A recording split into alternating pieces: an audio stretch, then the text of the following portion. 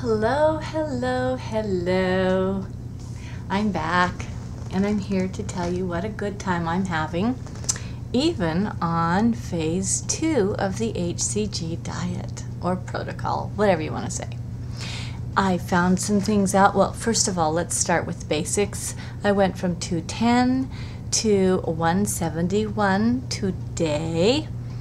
And um, if you haven't tried HCG yet, do look into it. Um, there's basically two forms of thought out on it. That's Dr. Simeons' protocol. He's the one that first um, originated it. And then there's Kevin Trudeau. Kevin Trudeau, I don't know anything about, but many people are having the same success. There's some differences, so it's up to you to find out what they are. Um, but whether you follow Dr. Simeons' protocol or whether you follow Kevin Trudeau's pro, did I say that right? Trudeau's protocol, um, you're bound to find success. Just make sure you follow it. Now, one more thing. My husband was laid off, so he hasn't been working, and I just have this part time job.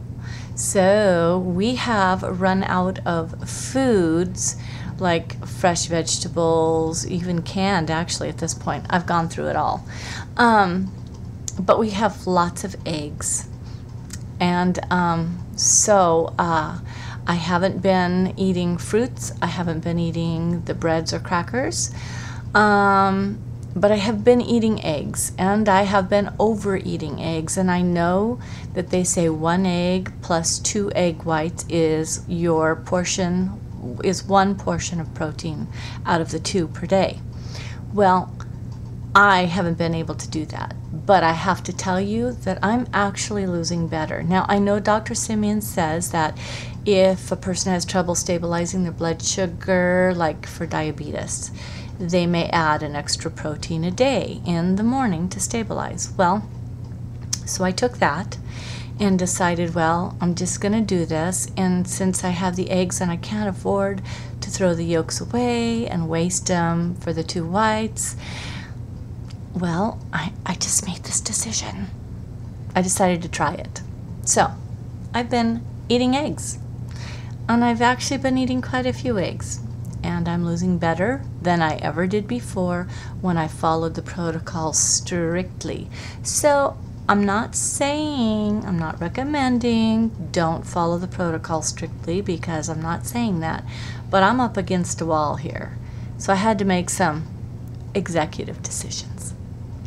And I'm here to tell you only what my results were or are. And I've been doing this for over a week and I've been losing really good where I had stalled out at 178 ish, 176 ish, somewhere in there. And then when I started, when I ran out of the right food, I started eating the eggs, and who knew?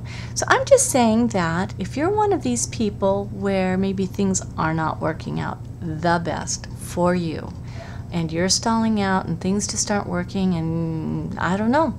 I don't know. It's up to each one of us to figure out, to find our own path, um, and to follow the rules as closely as possible. And so that's what I'm doing. I'm following as closely as possible. I only have uh, a couple more days on HCG and then I'm entering phase three, which is the most important part. And you know it and I know it. So I will be reporting again soon. And happy HCGing to all of you. Bye.